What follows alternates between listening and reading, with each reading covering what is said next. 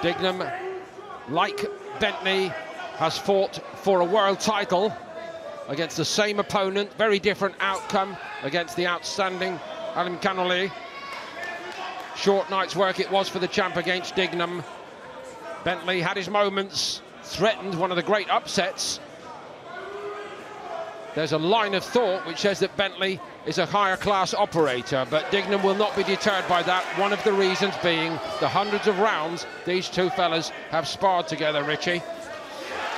They know each other inside out, don't they? So they've done a lot of sparring together, but you know that that accounts um, for nothing when you're in there. Then Paul, it's totally different under the, the bright lights and smaller gloves. Oh, that's a cracking shot there from Bentley.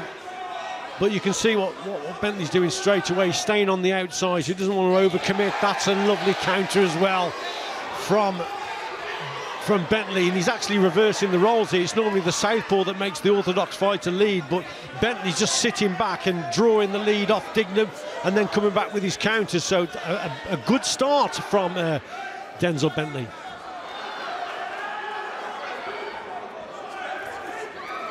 But they're both boxing as counter punchers, but it's who lands that shot. Dignum, in all honesty, wouldn't claim to be one of the top 20 best known British fighters of this era, I don't think, but this can change it tonight.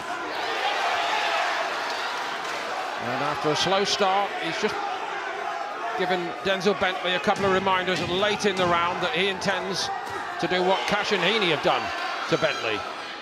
Yeah, good left hand from Dignum there. That's 30 seconds or so.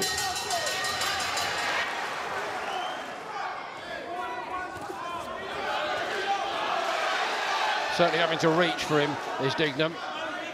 Bentley the quicker.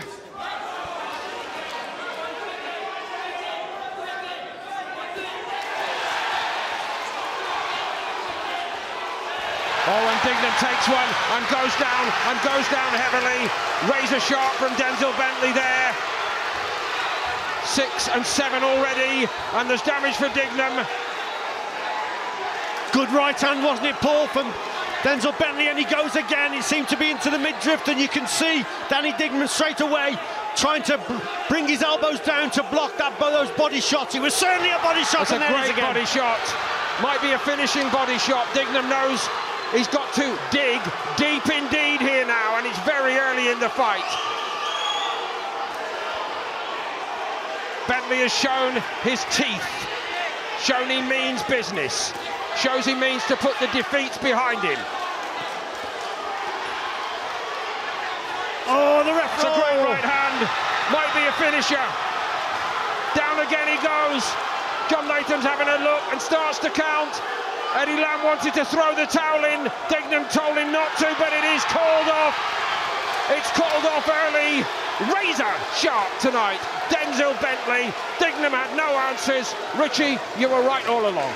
Well, super shot, super work there from Bentley with that right hand. I thought that the, the more patient approach from him, weight on the outside, suited um, him a little bit better. Danny Dignum seemed to make the mistakes as as he sort of poured with that lead hand of his and then you've seen Bentley come back with fast counters. But once he caught him to the body, he made the ultimate mistake, Dignum, of showing that he was hurt. He went down, and then it was all Bentley. He knew that the, the, the, the, winning line was very, very close, and he went for it.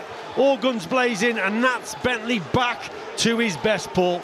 Therefore, your winner by TKO and the new WBO International Middleweight Champion, Denzel Ducharme.